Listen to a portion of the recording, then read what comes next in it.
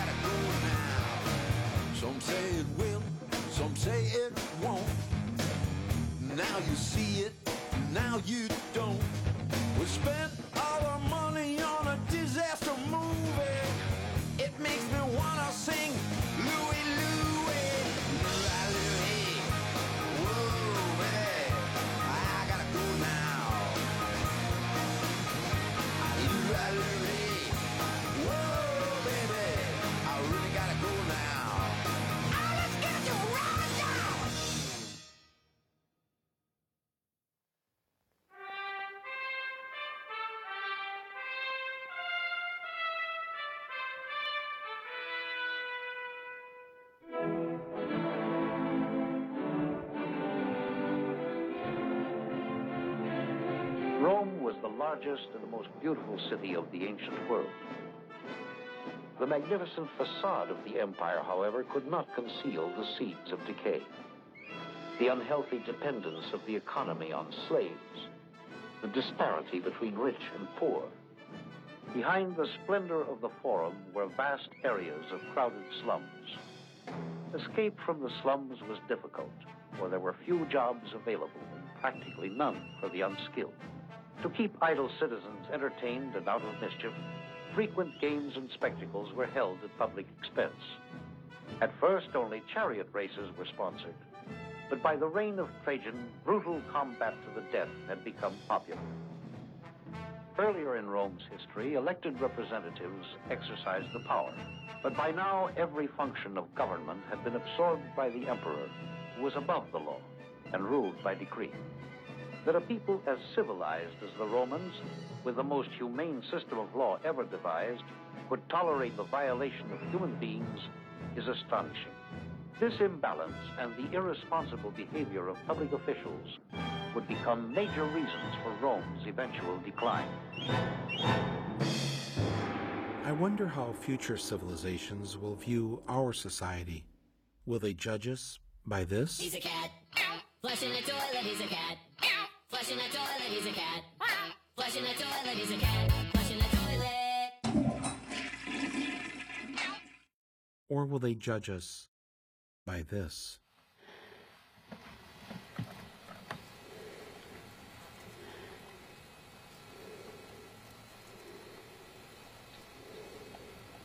Do you see the sheriff's car? Yeah, right there, it's sheriff. That's the first mm-hmm. car. No. There it is.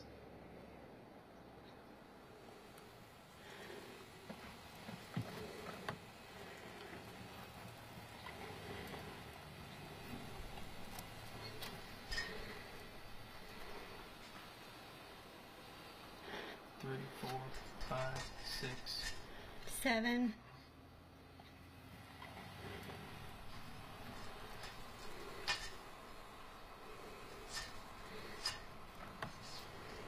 Give me the phone. It's on this. It's on the couch. It's on the couch. All right. That's as close as I can get, there.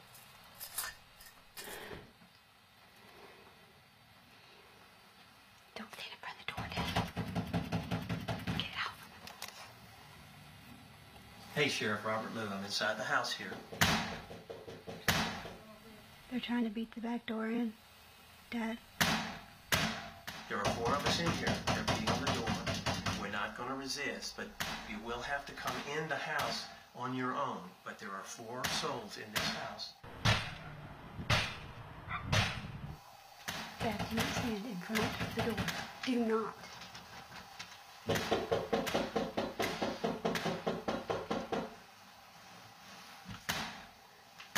Robert Lou, another witness. Tell your your name to the camera. I'm David Phillips.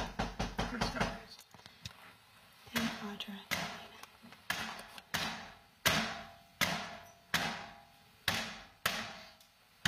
And this is America. This is America, folks. What you're watching right here.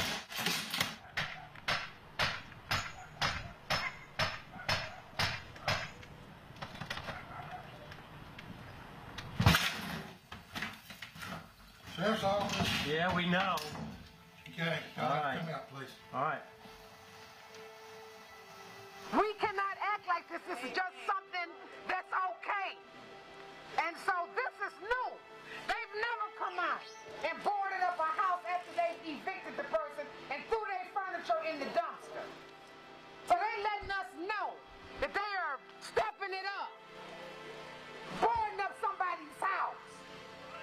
My family home. This is my parents' house. So I lived here for 41 years. This is the only home I ever really lived in. This, this, this, this always be home to me, no matter what. Oh, I'm a carpenter. There, there you go. There you go. That's what his office said. That's all I am. You know, people pay their bills, they don't get put out. Well, people pay their bills and they still get So put what happened to you? That's right. But- So what do you think I'm doing? out I don't have to be happy about this, but that's what I do. Well, that's all I'm saying is that, you know, maybe you can make another choice. That's no all we reason- saying. That's no reason for You a working know, class people- person. The- For All of us people out here to get upset and almost get themselves hurt. you know? Well, we ain't gonna get hurt. And if, if we're not gonna get hurt. Are you threatening us? Y'all gonna get a lot of hell. You might end up even getting hurt. Come about us getting hurt, you might get hurt. There's got to be some kind of a rebellion between the people that have nothing and the people that's got it all. I don't understand. There's no in between no more. There's the people that's got it all and the people that have nothing.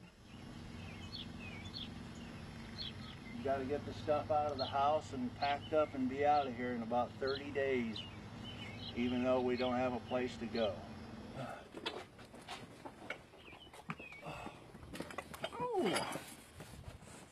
we designed this house.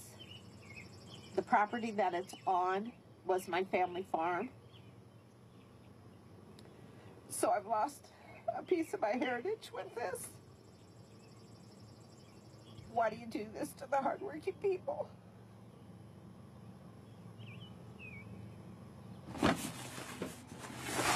Why? You take everything.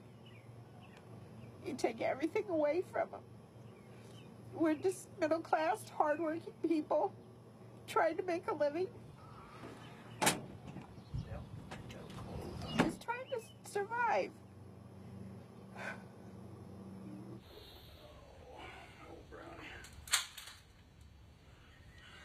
Oh. Pistol. My dad's pistol. My pistol. Sheriff's Department. It's supposed to be 30 days. I got 30 days to get my stuff out. That's what the guy told me. No. What? It's currently scheduled for today. But The uh, paper's telling us that we are due to do an eviction here today at 9 a.m. Gee. Well, he's surprised too. The house is gone. They, that cop told me that the house has already been sold to somebody else. So we don't own the house no more. Somebody else does. This is capitalism, a system of taking and giving, mostly taking. The only thing we didn't know was when the revolt would begin. Everything. We've tried everything. Except robbing a bank. I'm thinking about maybe doing that. You know, that's one way somebody could get their money back. If they did it, they did it to me. I don't know why I can't do it to them. This is my second Hyundai Sonata, and I'll probably get a new car next year. And when I do, it'll probably be another Sonata. You know, I'm not a car guy. If I can go in there and steal a condo for the equivalent of what a, a Mercedes would cost or a Bentley would cost, I'm all about that. Meet Peter Zalewski, Florida's up and coming real estate whiz. There we go. He calls his real estate company Condo Vultures. We, we, we have a very good sign because you have the final final notice of eviction. So you can see this person was basically thrown out by the by, by the police department. Welcome. Peter deals exclusively with clients who buy up foreclosed homes and then resell them at a profit. It's going to be about 830 square feet or so. At the end of the day, the only people who are buying are primarily individuals that we represent. Today it's on the market for $66,000, which are basically bottom feeders who are going in there. They have no compassion, no sensitivity. They're running purely off numbers. They're coming in all cash, and they're looking to slit any single seller's throat, regardless of what their situation is. So people always ask, what's 25 cents on the dollar? This is it. This is what you're going to get. The uh, vulture basically represents a bottom feeder that goes in there and cleans off a carcass because they're dealing with so many different germs and so many different situations, they'll have to vomit on themselves and there's some sort of cleansing process that occurs. The vultures aren't actually killing. They're the ones doing the cleanup. Which bank you want? Bank of America? What we do is we tap into data and boom, voila. Here we got 3,400 foreclosings by Bank of America. Gotta love it. As we collect data, it's giving us the insight into the battlefield. Almost like a drone flies over the battleground in Afghanistan or in Pakistan or in Iraq. The current ask price is 355. Again, it was purchased for 840. A little bit of a discount.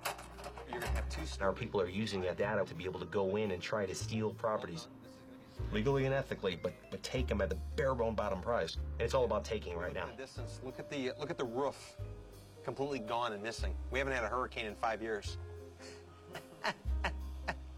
Welcome to the housing crash, Miami style. So this this is what capitalism is, and this is why the information is so critical. We go in there, we alert them to it, and if they like it, you know, boom. Look at the window. Oh, look at that. Looks like the house next door was on fire. This is straight up capitalism. Fire damage. Wonder if somebody was living there, or that's a squatter. Everybody's got this desire to go in there and take advantage of others' misfortunes. Somebody asked me, what's the difference between you and a real vulture? This is very simple. I don't vomit on myself. Our topic today, what is capitalism? Capitalism? Well, why should there be any question about it? Hasn't it given us the highest standard of living in the world?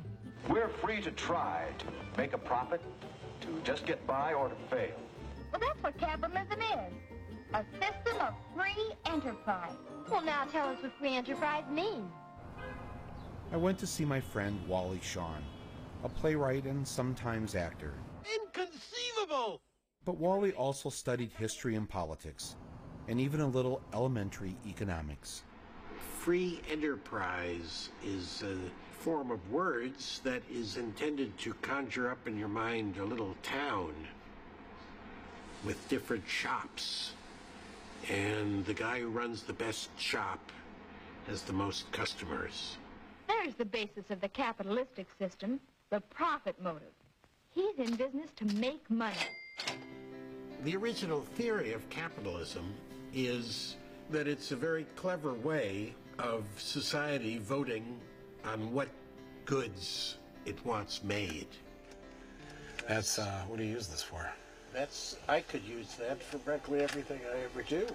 You know, society votes, uh, they like the way this guy makes ice cream, but the other guy, they don't like his ice cream that much, and they don't buy it, so it uh, fades out. The basic law of life is that if you have things, you can easily get more things. Very quickly, one guy can have five times more than anybody else. Free enterprise. competition. The profit motive. My dad, an assembly line worker at General Motors, bought and paid for our house before I graduated from kindergarten. We had a new car every three years. We went to New York every other summer. That's me on Wall Street. And that's me directing my first movie at the World's Fair. We went to Catholic schools. We lived a good life. If this was capitalism, I loved it. And so did everyone else. During these years, a lot of people got rich, and they had to pay a top tax rate of 90%. 90%? Yep. But they still got to live like Bogey and Bacall. And what did we do with all their money? We built dams, bridges, interstate highways, schools, hospitals. We even sent a guy to the moon. Things seemed to be going in the right direction. Dad had a secure job, and Mom could work if she wanted, but didn't have to. Middle class families only needed one income to survive. Our union family had free health care and free dental. The kids could go to college without getting a loan from a bank. Dad had four weeks paid vacation every summer. Most people had a savings account and little debt. And Dad's pension was set aside where no one could touch it. It would be there for him when he retired. We got all of this because our main industrial competition had been reduced to rubble. Here's what the German car industry looked like. And here's the Japanese auto industry. I guess you could say it's easy to be number one when you have no competition. Yes, of course, not everything was perfect. We didn't mind having to put up with a little bit of this and a little bit of that. Just as long as we could be middle class. And we could count on our kids having it better than we had it. It sounded like a good deal to us. Capitalism. No one ever had it so good.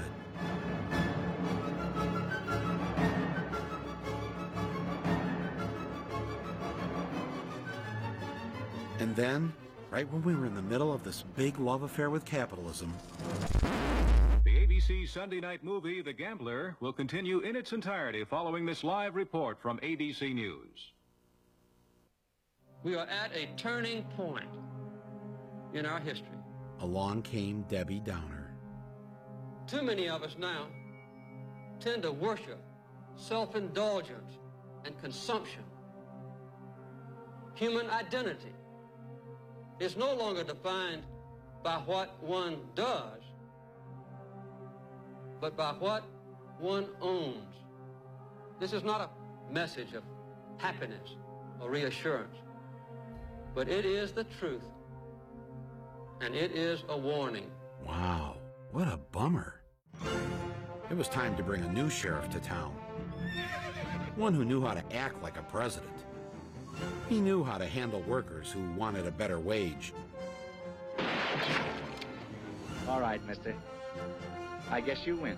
Or these annoying feminists whining about their Equal Rights Amendment. Well, I can change that in a hurry. A man who knew how to get the job done. Ronald Reagan came out of the B movies to become the most famous corporate spokesman of the 1950s. This is a transistor radio, too. Weighs only a few ounces. You can slip it right into your pocket. Raxo waterless hand cleaner really cleans up for us. He had found his calling, and Wall Street had found their man. You see, the banks and corporations had a simple plan to remake America to serve them. But to pull it off would require electing a spokesmodel for president. And on November 4th, 1980, that's what we did. That I will faithfully execute the office of President of the United States. It was an historic moment because now corporate America and Wall Street were in almost complete control. See that guy standing next to the president? You know, the one that looks like a butler? His name was Don Regan, the chairman of Merrill Lynch, the richest and biggest retail brokerage firm in the world. he took the key position of Treasury Secretary so he could enact the tax cuts that the rich wanted. Regan then became White House Chief of Staff as the president started to fade. Then they should give the president what 43 governors have a line item veto. And uh,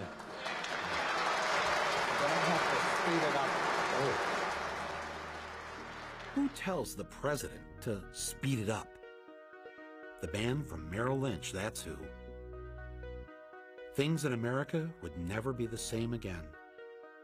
The country would now be run like a corporation. we're going to turn the bull loose. And four years later, when Reagan ran for re-election, it was all smiley faces and happy talk. I really feel that we're going to be better off in the long run.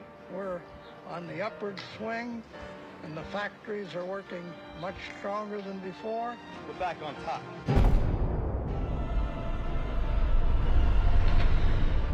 Actually, what Reagan presided over was the wholesale dismantling of our industrial infrastructure. This was not done to save money or remain competitive, as companies back then were already posting record earnings in the billions. No, it was done for short-term profits. And to destroy the unions. Millions of people were thrown out of work, and the remaining workers were told to work twice as hard. But wages for working people remained frozen. The richest Americans had their top income tax rate cut in half. Instead of being paid a decent wage, we were encouraged to live on borrowed money until our household debt was nearly 100% of the GDP. There was an explosion of personal bankruptcies. We found it necessary to lock up millions of our citizens. Sales of antidepressants skyrocketed as insurance and pharmaceutical company greed pushed the cost of healthcare up and up. All of this was great news for the stock market and for America's CEOs.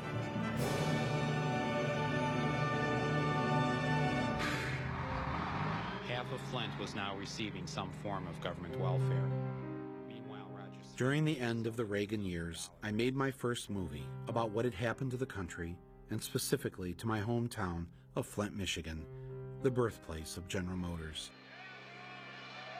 GM was posting profits of over $4 billion, while at the same time eliminating tens of thousands of jobs.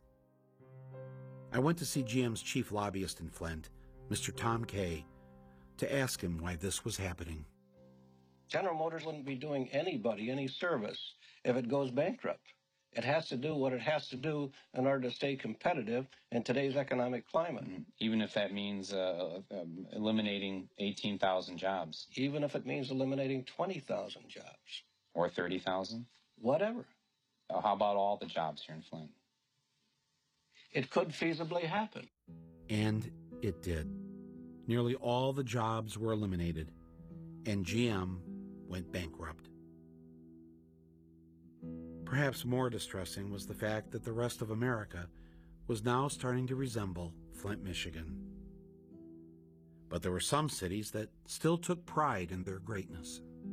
Cleveland, come on down to Cleveland town, everyone. Come and look at both of our buildings.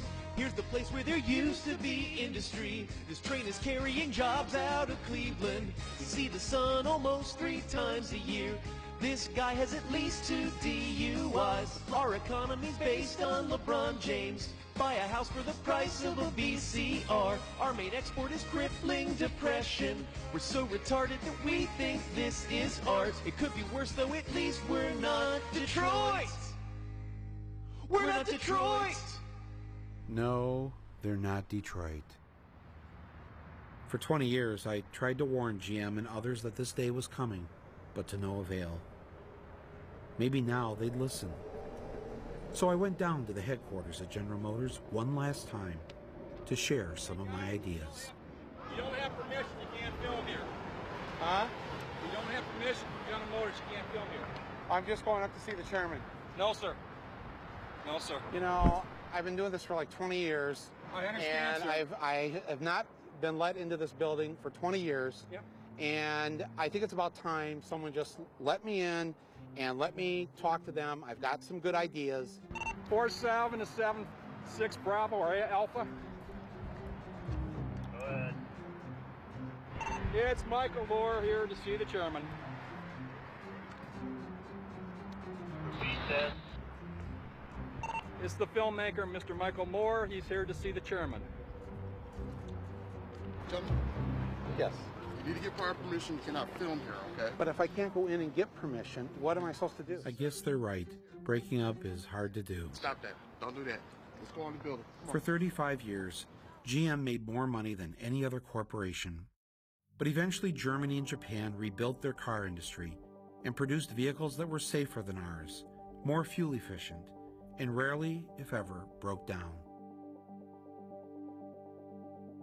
In Germany, unions help hire and fire the board of directors, so the workers have a say in what's going on. You see, the people of Japan and Germany fight to make sure that even their conservative political leaders don't destroy their middle class. So, where exactly are we? On the day that General Motors declared Chapter 11 bankruptcy, I went with my dad to visit the AC Sparkplug plant, where he had worked for over 30 years. So you worked actually right. You'd have Here. to go. Uh, they had a ramp that took you up over that. Right. Just beyond that. Uh, Just beyond that space there, Yeah. and then the factory was all over there. yeah. Yeah, the whole, whole complex is like two miles long. I remember uh, mom bringing us kids in to pick you up, 2.30 every day. Uh-huh. You'd uh, walk out of there, right over in there, in fact, Mm-hmm. and uh, we'd be waiting in the car for you, and we'd we'd see you come down the ramp. Oh, we yeah. got we got real excited uh, every time we saw you. Yeah. Yeah. I was there 33 and a half years. 33 and a half years. Uh-huh. What's your best memory here, being here, working here? The best memory, I think the people. We had, they were really a good bunch. You They were like the, yeah. the crowd you worked with? Yeah. Yeah. Good place to work. I enjoyed it. But I, I'm sorry to see it go.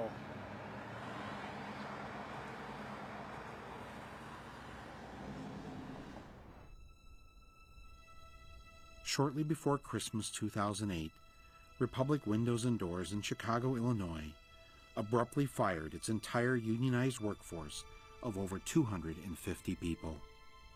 They were given only three days' notice. Bank of America would no longer provide a line of credit to the company, and so the workers were not paid the money owed to them. My life revolves around this job. I live according to my obligation to my job, you know. And it's not just me, it's all of the workers here.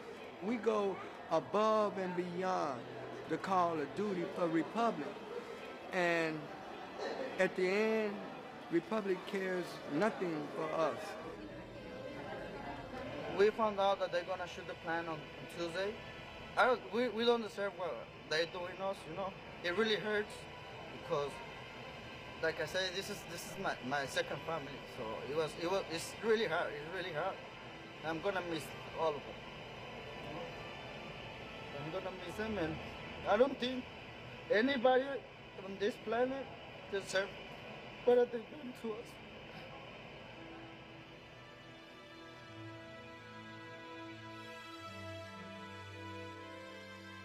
Scenes like this were being repeated all over the country, and no one seemed to mind. Sí se puede, Sam Beasley, Sam Beasley, Sam. The president was enjoying his final year in office. But as the economy started to fall apart, he decided it was time to roll out the C word. Capitalism is the best system ever devised. Huh, really? Voices from the left and right are equating the free enterprise system with greed and exploitation and failure. Hmm. Greed? Exploitation? Failure? Go on, I'm listening. Capitalism offers people the freedom to choose where they work, what they do. Pat Andrews has been looking for work. Every morning, she scans the classifieds in vain. Now, there isn't anything in here. I'm not going to be a gentleman's club hire dancer either. the opportunity to buy or sell products they want. Dom Rendon has avoided layoffs at his sign company in Stockton, California, all because this one word now makes up for half his business. If you seek social justice and human dignity, the free market system is the way to go. And for those seeking justice in Pennsylvania, free enterprise was definitely the way to go. Wilkes-Barre, Pennsylvania has one of the highest rates in the state of young people locked up in the juvenile home. Perhaps it's because the good people here employ the practices of capitalism in dealing with their wayward youth. The county hired a private profit making corporation with a sweet sounding name PA Childcare. It was owned and run by two businessmen, one of whom was Robert Powell, an attorney and entrepreneur. His good friend Judge Conahan closed down the public juvenile home and then got PA Childcare to build an $8 million privately owned facility and charge it back to the county for a mere $58 million lease. Let's meet some of Wilkes-Barre's juvenile delinquents. McGee smoked pot at a high school party. I was very rebellious when I was uh, this age. Matt, he got into an argument at the dinner table. I threw a piece of meat, as in steak, cooked dinner at my mother's boyfriend. Jamie got in a fight at a shopping mall with her best friend. I just figured, you know, we just weren't going to be friends anymore. And Hillary made a MySpace page making fun of her assistant principal for being strict and having no sense of humor. And it said some pretty silly, like 14 year old girl stuff. Her assistant principal called the police. They all appeared before kindly Judge Mark Ciavarella. These kids were about to get their first lesson in American capitalism. Time is money. Lots of money. I went in front of the court, in front of Mr. Ciavarella, and I wasn't even in front of him for four minutes. I was only in front of him for like two minutes. The first thing that, that Judge Ciavarella said to me was, What makes you think you can do this kind of crap? I'm sure he knew in his mind when I walked in that he was locking this kid up no matter what. He didn't even look at me. Once I entered the courtroom, I, I didn't have any chance. There was about six kids who went in front of me. Every single kid who went in front of Ciavarella for all different reasons, some minor, some serious, got sent away. Although Wilkes-Barre is located in the United States of America, here capitalism trumped democracy. Robert Powell, one of the owners of PA Childcare, cut a business deal with Judge Conahan and Judge Ciavarella. Judge Ciavarella then stepped up his conviction rates. Many of these kids were funneled into PA Childcare's for-profit juvenile facility. And for their troubles, the judges received over $2.6 million, while the owners of PA Childcare received tens of millions of taxpayer dollars from the county. And where did Powell go to enjoy all that money? On his private plane and his yacht, the real justice. 6,500 children were unjustly convicted. It was good business while it lasted. Two Luzerne County judges in big trouble with the law. They're going to jail. Some kids were locked up even when probation officers objected to detention. In there, you lose track of time and you lose track of the date. I was barely keeping track. It was supposed to be like, I believe it was like two months. And it went from two months to nine months. He said originally three to six months.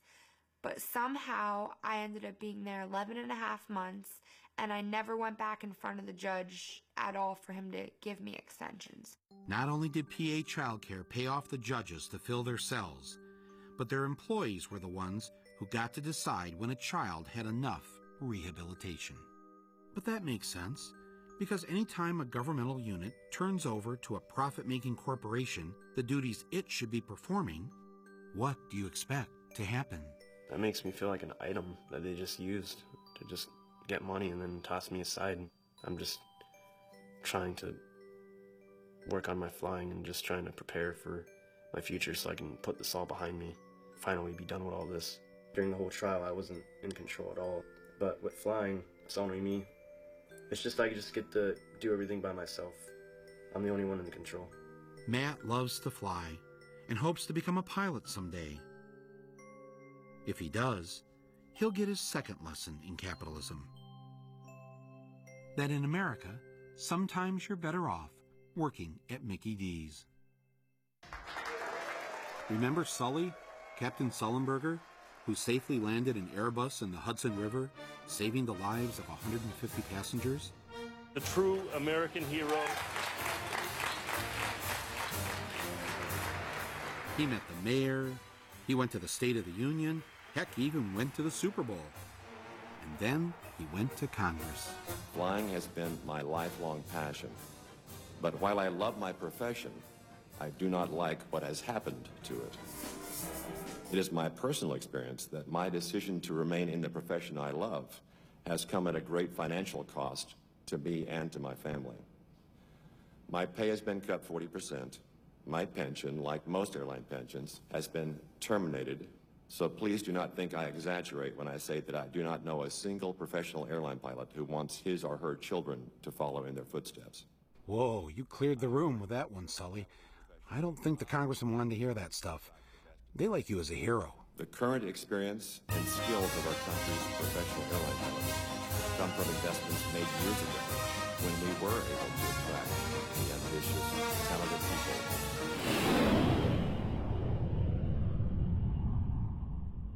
What was your starting pay as, as a pilot?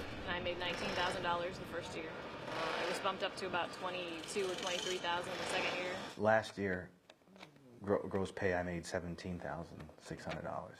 There's a joke in the airline when we get our wings pinned on us as new hire airline pilots that the company just kind of says, hey, you know, don't apply for food stamps in your uniform. I don't know about you, but I want the pilot who's got me 30,000 feet up in the air to be paid really well. And not sitting up in the cockpit, digging through the pilot's seat, looking for loose change. There was a period of about four months where I was on food stamps. You were on food stamps? Yes. As, and you were still flying the plane? Yes. With my with my food stamp card. The lady I talked to in the food stamp office when I told her I was a pilot, she she didn't bat an eye, but she didn't I knew she didn't believe me. How have you gotten by? I mean, how have you been able to afford things? Relying on credit cards to buy the groceries at times when I wasn't on food stamps. Oh, really? I have about ten thousand dollars in credit card debt. Just on the necessities, not on the big screen TV and Right, the stereo, just yeah, you usually have necessities. to buy your groceries Right. and, and get by. Yes. Um, do you have any student loan debt, or you or your wife? Yes. How much? Mine is about eighty thousand. I took out $100,000. Student loans. And by the time I pay it back at this rate, it'll probably cost me well over half a million with interest and fees and penalties. And, I mean, it's something that I don't I don't like to spend a lot of time thinking about because it's it's abysmal. It it's one way that I get down really quickly about my my chosen career field is to think about how much I owe and how little I make. Have you had to work a second job to make ends meet? I uh, I walk dogs on the side. I uh, distribute MonaVie juice. I have known pilots to uh, donate plasma for extra cash. You mean, you mean they give blood? They, yeah, well, so they, they can make extra money even Yeah. though they're flying an airplane? yeah, they donate their plasma, so they get the blood back, but they can, you can get paid for plasma. Oh, I see. They suck the blood out of you, take the plasma, Give you the blood back. give you the blood. Oh, well then, not such a bad deal. The only reason people stay flying is because they love it, and managements take advantage of that. The airlines have managed to farm out a lot of the flying to commuters in an effort to basically bust the unions. You can't compete to a lower and lower level every year without skimping on safety somehow. At approximately 10:15 p.m. on February 12, 2009, Continental Connection Flight 3407 began its descent to the airport in Buffalo. And let us some ground communication. Uh, either state police or sheriff's department need to find out if anything is on the ground. This aircraft was five miles out, and all of a sudden we have no response to that aircraft. Um, all I can tell you is the aircraft over the marker, and we're not talking to them now. No one survived the crash, and 50 people lost their lives. The media focused on the actions of the pilots. Captain Marvin Renslow and First Officer Shaw were chatting about their careers. Careers is a euphemism for what the pilots were really talking about how little they were paid and how overworked they were. There would be no discussion in the media about why we have an economic system that allows a pilot to be paid less than a manager at Taco Bell. First Officer Shaw made between sixteen and twenty thousand dollars a year, and at one point worked a second job.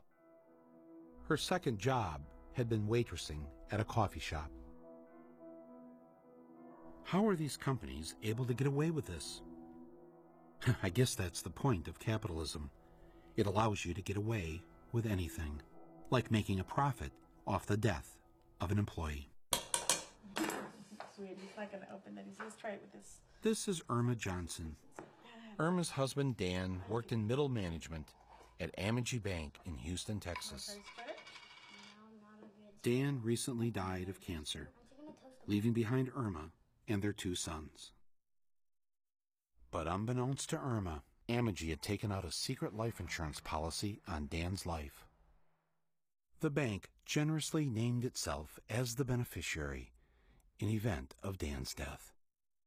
The insurance company then accidentally informed Irma that Amegy Bank had received a check for one and a half million dollars just weeks after Dan died. Benji, thank you for helping. I, they never told me. I wanted to find out, like, well, why did they purchase a policy for him? You mean you didn't know about it, no. and they named themselves as the beneficiary? Yeah. So your husband's death made them a million and a half dollars Mhm. richer. hmm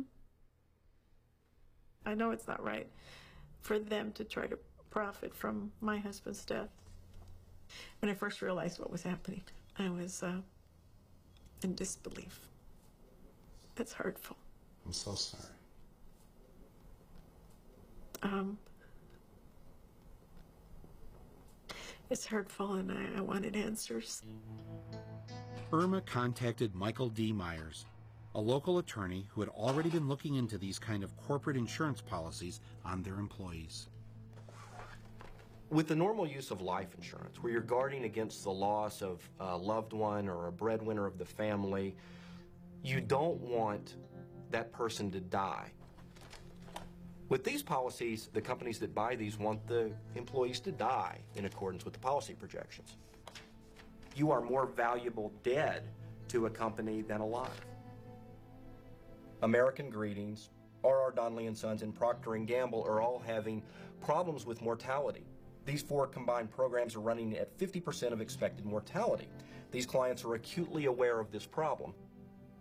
Basically, here the broker is complaining that not enough employees are dying, and therefore the investment returns are not matching the projections. The broker writes that NCC is running at 78% of expected mortality. Okay, so 78% of the people we expected to die died. But the problem with that is three of them were suicides, and you can't count on that every year. Can you think of any other situation where you'd actually want people to die? um, combatants in war, I guess. Uh, wow, when do you want people to die? I, I don't know. Uh, war situations, terrorism situations, uh, drug trials, perhaps. I, I don't know. I don't know. It's a, that's an odd question. I didn't understand how any of this could be legal. After all, there's a reason that there's a law prohibiting me from taking out a fire insurance policy on your house, because I have a vested interest in your house burning down. Since Attorney Myers had been researching this for years, I asked him which companies were profiting from these insurance policies. I don't know. You don't know because there's no place you can go and find out whether your company is a purchaser of these types of products. Which ones do you know? The ones that we know that have slipped out are Bank of America, Citibank, Walmart, uh, Winn-Dixie, Procter & Gamble, McDonnell Douglas, Hershey, Nestle, AT&T, Southwestern Bell, Ameritech, American Express. This is blue chip you're talking about. Yes. These aren't fly-by-night companies trying to do a scam here so they can collect a check if one of their employees dies. There are probably several million Americans who are covered by one of these policies or have been at some point. There's a lot of it out there. This is Paul Smith. He used to be what is known as a loyal employee. I worked for Walmart for 18 years and I gave them 110%. Excuse me. I mean, I love that company. And as it turned out, Walmart took out over 350,000 life insurance policies on rank and file associates. These weren't executives. These were people like my wife, a cake decorator for 18 months. That's the type of people they were taking insurance policies out on.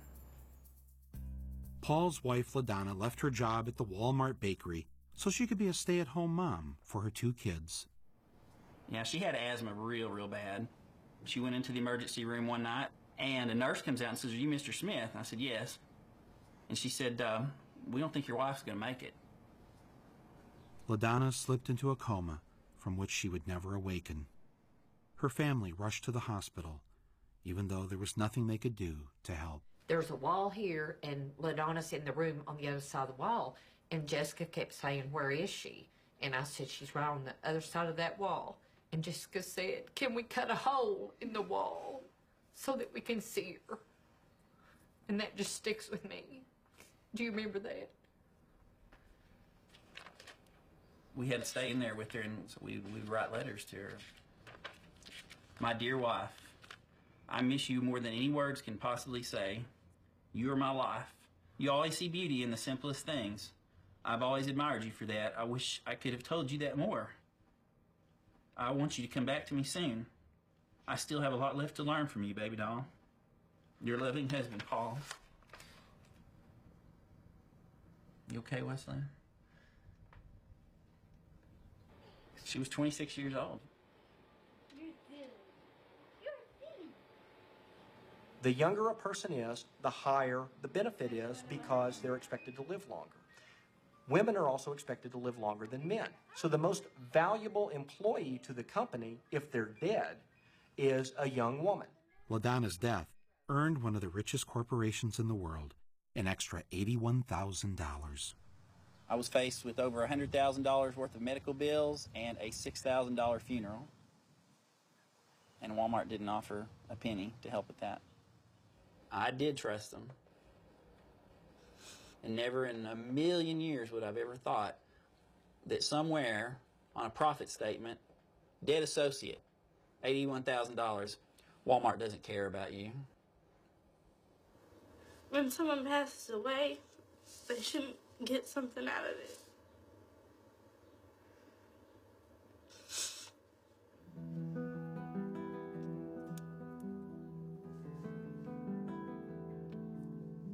The common denominator to each form of coverage is that when the employee dies, the employer gets paid the insurance benefits. They're often referred to as dead peasant insurance. Dead peasants? Why they use such a creepy name?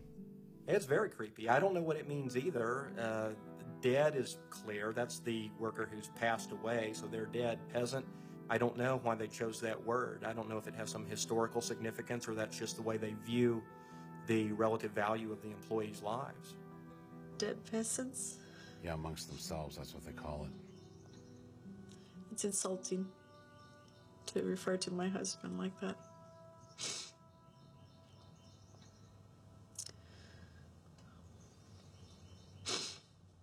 It turned out that Amegy Bank had a second dead peasant policy on Dan, bringing their total take to nearly $5 million.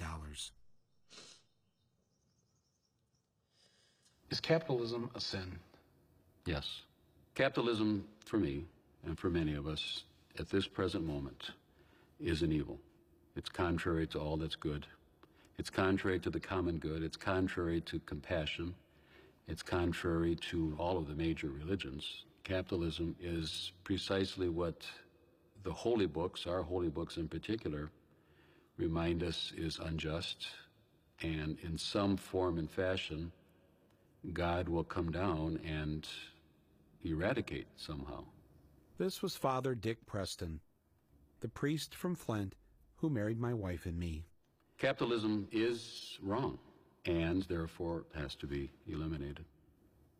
Eliminated? That might be a little harsh. So I decided to go and talk to the priest that married my sister and brother in law. I'm sure he would have a more balanced approach when it came to capitalism. It is immoral, it is obscene, it is outrageous. You know, it, it is really radical evil. It's radically evil. Wow, does their boss know that they're talking like this? I thought it best to go and check this out with the bishop. The system doesn't seem to be providing for uh, the well being of all the people. And that's what makes it, uh, in its, almost in its very nature, something contrary to the Jesus who said, Blessed are the poor, woe to the rich. That's right out of St. Luke's Gospel. How have we put up with this system for so long? I mean, it's, it, I mean, they the talk. system has built into it what we call propaganda. Uh, I'm in awe of propaganda. The ability to convince people who are victimized by the very system to support the system and see it as a good. We know that American capitalism is morally right because its chief elements private ownership, the profit motive, and the competitive market are wholesome and good. They are compatible with God's laws and the teachings of the Bible. For as long as I can remember, I've been told that competition and profit are good things. They are compatible with God's laws and the teachings of the Bible. And if increasing profits means locking up a few kids or cashing in on the death of an employee, Compatible with God's laws and the teachings of the Bible. it is morally right to provide for the stockholders. They are compatible with God's laws and the teachings of the Bible. Debt, eviction, and exploitation. God's laws and the teachings of the Bible. What were we really pledging our allegiance to? The profit motive. And so all good Americans came to act as if they believed our capitalist economic system was compatible with the teachings of the Bible.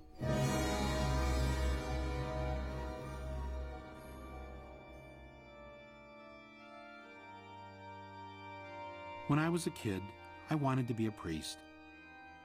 It wasn't because of the fancy get-ups or the Knights of Columbus escorts, or even the groovy nuns who were so good to me.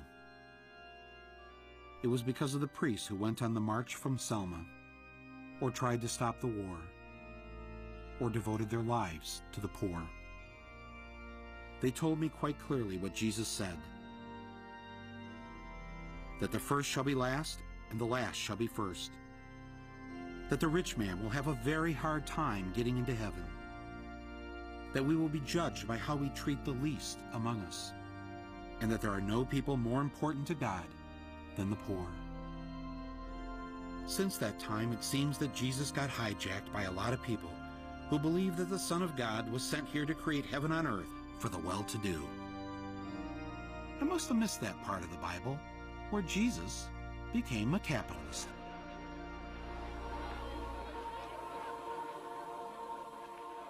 Please tell me, Master, what must I do to have eternal life? Go forth and maximize profits. You say the kingdom of heaven is at hand. But when exactly will it come? When you deregulate the banking industry. Help me. I've been this way for 20 years. I'm sorry, I cannot heal your pre existing condition. He'll have to pay out of pocket. Somehow I don't think Jesus came to earth so he could ring the bell at the New York Stock Exchange. And yet, from the very beginning, the rich have claimed him for their own. When I'm on Wall Street and I realize that that's the very nerve center of American capitalism, and I realize what capitalism is done for working people in America, to me, that's a holy place. Let me add to it.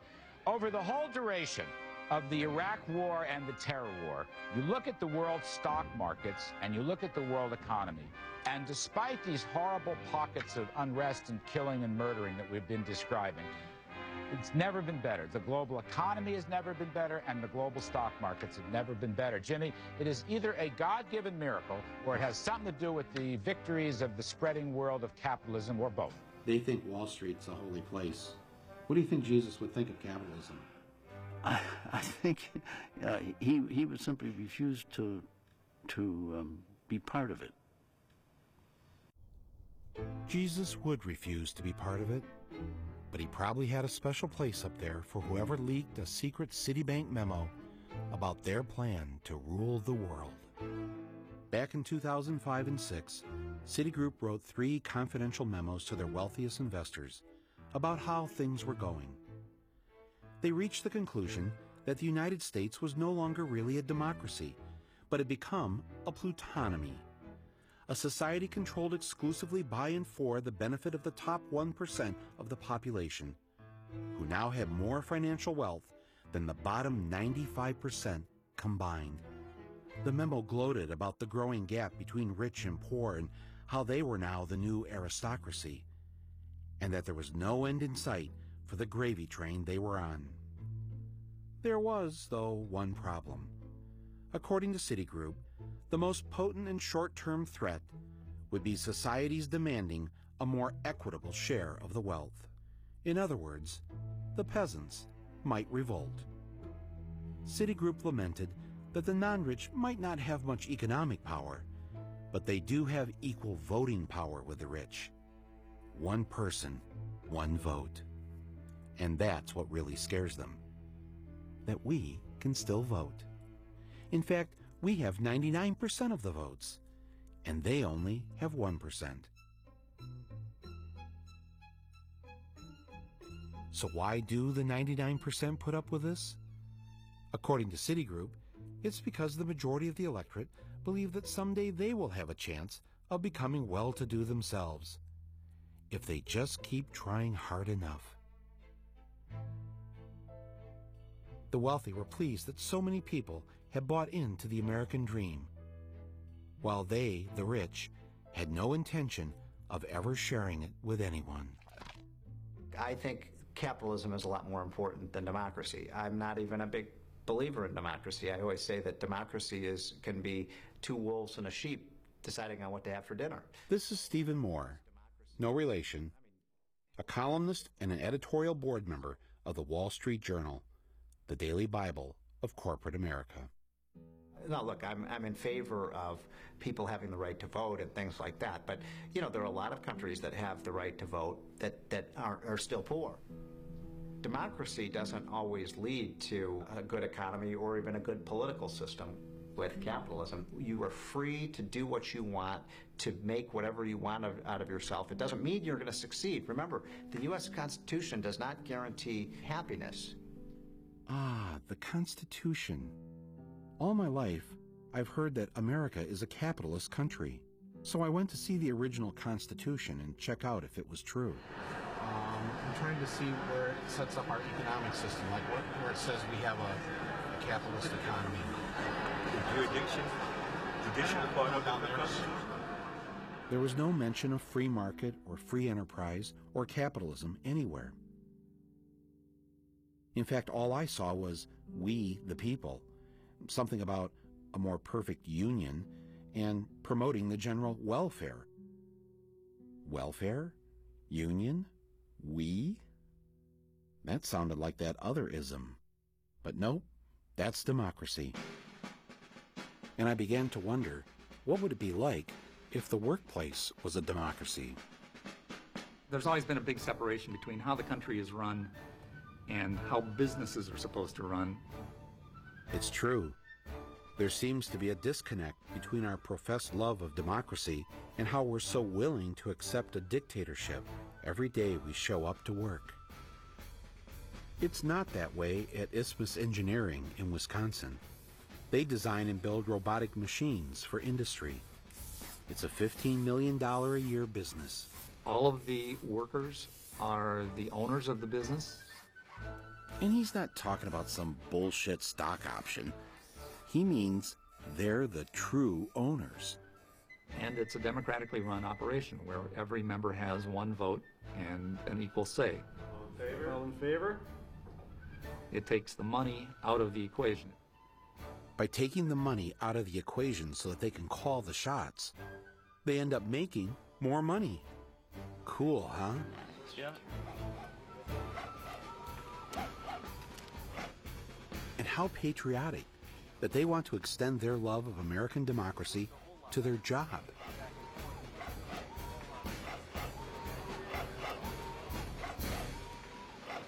Just imagine if the place where you worked was run by you and your fellow workers. You probably wouldn't lay off your coworkers to increase the value of your stock, would you? Or give yourself a pay raise while making your coworkers take a pay cut. We don't really do that here. You don't even, you really can't because everyone else would be looking at you saying, why is this guy so freaking greedy, you know? You know, I mean, it would be too obvious. But the bottom line is, you got plenty of people who roll up their sleeves every day, go to work. But if there's someone way up there on the chain that collects all the extra money, that's not fair. Fairness in the workplace. What a novel idea. Out in California, there's a bread factory where workers make thousands of loaves of bread every day. The more hours you work towards the benefit of the co-op, the more you share in in the profits. The workers are happy here. There's no big eyes, little U's. Everyone's the same. Me as the CEO, I get the same share that anybody else does. And that has proven to be very lucrative for us as workers. Assembly line workers here earn over $65,000 a year, more than three times the pay for a starting pilot at American Eagle. I'm just hoping that people take notice of this type of organizational activity and start considering it as an alternative. Why do you want to get rich? You know, how many cars do you really need in life? Clearly, he's not a car guy. But that's okay. His bread factory and hundreds of other worker owned businesses are proof that people aren't always motivated by profit. An historic victory over a dread disease. Instead of using his genius to make a ton of money, Dr. Jonas Salk spent all of his time putting monkey kidneys in a blender, trying to find a cure for polio. And when he did, he decided to give it away for free. This man could have been rich many times over had he sold his vaccine to a pharmaceutical company, but he thought his talents should be used for the greater good. And the decent salary he made as a doctor and a research professor was enough for him to live a comfortable life. Who owns the patent on this vaccine? Well, the people, I, I would say. There is no patent. This is. Could you patent the sun? yes, we've come a long way since the days of Dr. Salk, because today our best minds are used for something else. Where do we send our top math and science people? Into finance. They don't go into science in America, they go to Wall Street. Today's students, unlike in Dr. Salk's time, can graduate from college with a student loan debt of up to $100,000 or more. These students are then beholden to the banks for the next 20 years. And the best way for them to pay off these banks is to go to work for them instead of working for the common good. We've taken people that could be enormously productive, just what we're short of in America, and we take them and we put them in an activity that isn't simply less productive, but where they're actually destructive, where they actually, every day they work, they make the world worse. So, what exactly were the top students from Harvard and other schools working on these days? Derivatives. Derivatives. Derivatives. Derivative. Derivative. Credit default swaps. I can't make any sense out of this. I might as well quit. That's exactly how I felt when I started hearing these new terms. So I went down to the New York Stock Exchange to get some answers. Sir, can you explain derivatives to me? Anybody explain um, derivatives, credit default swaps? Can somebody explain to me what these are? Sir, can you tell me what a credit default sir. swap is? Can you explain a derivative to me? Can you explain what? Tell me what a derivative is. Nobody will talk to me. I'm just a blue collar I can see that. Yeah, I can see that. Yeah. Hey. Hey, good, good. Uh, Looking for some advice. Yeah, good. You guys got any advice for me here? Don't make any more movies. Don't. Derivative, credit default swap. Oh. I did find one guy on Wall Street who wasn't a film critic. Marcus Haupt is an Ivy League educated engineer who was a vice president of Lehman Brothers and spent 15 years on Wall Street creating what they call complex financial instruments. What is a derivative? A derivative is really, it's a secondary bet on, on the underlying product. So you may have a stock and then you have an option on that stock. And an option on that stock allows you the privilege, but not the obligation, to buy or sell. How should we put this? You're allowed to make a decision of whether or not you want to, want to ultimately take that exposure. Here's explained another way. So the derivatives price is based on the price of something else. So it's kind of like a second degree equation. If you think of, let's say, um, um, maybe I should go back Let me start this over again. Let's go back here. I was lost. Maybe there's someone at Harvard University who could explain it to me. Yeah, yeah. The the the uh, the the um, the the the buyer. So the seller holds the loan, and it might default, and they sell off uh, uh, somebody somebody else. Uh, sorry, let me just let me just back up. I'm, I, I I apologize. These are pretty exotic. Derivatives are nothing more than complicated betting schemes. Here's what the math equation of one looks like. Can't figure it out? That's okay. You're not supposed to. They've made them purposely confusing so they can get away with murder. Let's say you're a lawyer and you're coming in and you're from the government and you're trying to evaluate if these things violate the tax code or not. If you can figure out what they're doing, most likely that Wall Street firm will offer you a job. Could I go to Wall Street and just uh, ask them, you know, to set up a derivative on anything? Yes. Believe me, if it's out there, there's a derivative on it. So this is what Wall Street has come to an insane casino. We've allowed them to bet on anything, including our family home.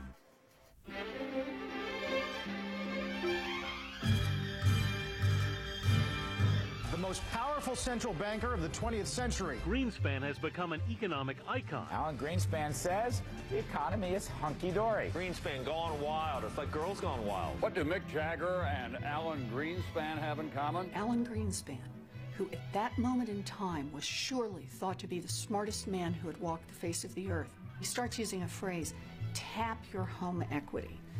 That Americans can tap their home equity, which is just Alan Greenspan speak for borrow against your home, and if you can't repay it, you'll lose your house.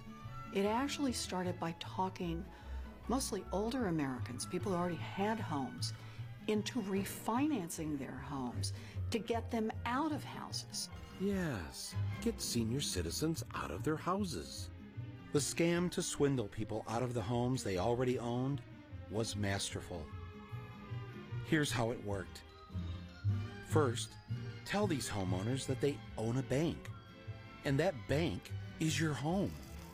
So if your home is worth $250,000, that makes you a quarter millionaire. You're sitting on a gold mine.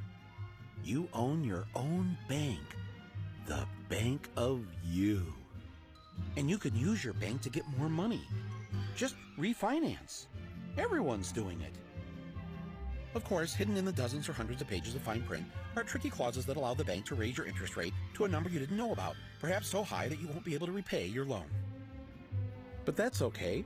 If you can't repay it, we'll just take your house. Of course, before they could take your house, they needed to change the regulations and the rules. What's this photo I found here? It, it was in an annual report of the FDIC. John Gilleran, the head of the Office of Thrift Supervision, which is supposed to regulate savings and loans. He's the guy with the chainsaw. And the four other grinning idiots uh, in the photo are the three leading lobbyists in banking and the deputy director of the Federal Deposit Insurance Corporation. And they're poised over a pile of regulations. And this is supposed to demonstrate their intention to destroy regulation. And they succeeded, and now we know what happens when you destroy financial regulation. You produce a financial catastrophe. A growing family with a lot of debt. A young couple with no down payment. A business owner whose income was hard to document. Every one of them was turned down for a home loan by three different lenders. I'm with Countrywide, and I got them all approved. Eh, don't be fooled by the pleasant demeanor and blonde hair. It's the same pitch the mafia gives you in the neighborhood. I know how you feel. You got a lot of debt. You don't have money for the down payment. You can't find your documents. It's okay. I'll make you a loan you can't refuse. It's called subprime. Yeah, you, you pay no interest now. You, you, you pay a little more later. Eh, don't worry about later. We'll take care of you. And like the mafia, Countrywide, Citibank, Wells Fargo, Chase, Let's go, Bingham. they would someday stop by to collect and take your home. I was paying seventeen hundred a month and making it. Then it went to two thousand. Then it went to twenty-three. Then it went to twenty-seven. Can't do it. These are the Hackers of Peoria, Illinois. Randy is a railroad worker, and Donna works for retirement homes. Their farm, which had been in the family for over four decades, had been foreclosed on by Citibank. Randy had had an accident on the job years ago and was now on disability. They absolutely just plain fucking stole everything. My whole life savings and everything by a stroke of a pen and a lawyer and a judge. The Hackers showed me the foreclosure notice from Citibank. What caught my eye was the town from which their mortgage came. It turns out that a company owned by the big banks has chosen to run 60 million mortgages through, of all places, one of the most desperate towns in the United States. This company hires the people of Flint to send out nearly 60% of all the foreclosure notices in the country. In what seems to be some sort of cruel joke, my hometown was now in the service of helping to turn the rest of America into Flint.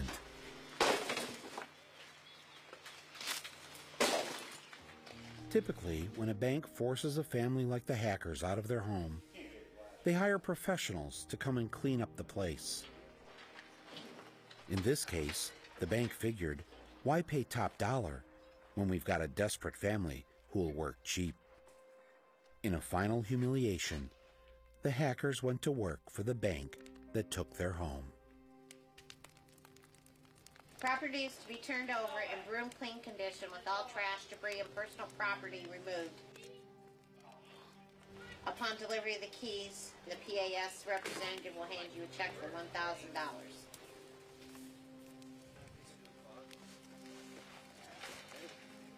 Uh, you know, thousand bucks to uh, get out of my own house and stuff. I, I really want to thank them. I, that was really something. You know, my wife worked for a week to uh, clean that house up to make sure it was presentable to somebody else. I'm glad they did that. I have to thank them. Oh, it was awful nice of them. So, yeah, I'd like to thank them. All right.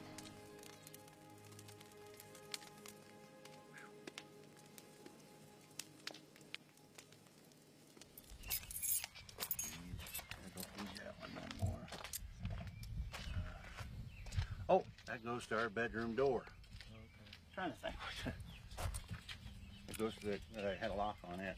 Kids out there because I have guns. And here's your money, Randy. All right, Steve. Buddy. What you're witnessing And, uh, is a robbery. I'm starting to understand why people think you know they they lose their mind to go in and start shooting people and stuff. I'm not. I'm not going to say I would do something like that, but I can see how they get people into that situation where people go in there with bombs, blow them up, and shoot at them. I, anything that happens to them people, they deserve it. it. Is all I can say. I, I hope something happens. Yeah, well, can't say no more.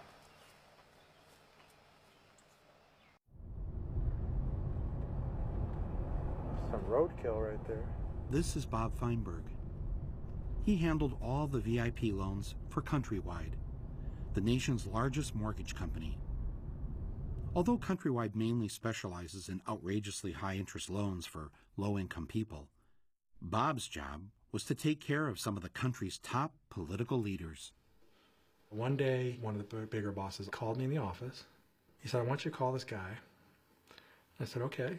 And he goes, and he said, uh, "He's a friend of Angelo's. Angelo Mozilo is the CEO of Countrywide. Give him this rate, waive these fees, and get it locked in, and don't fuck it up."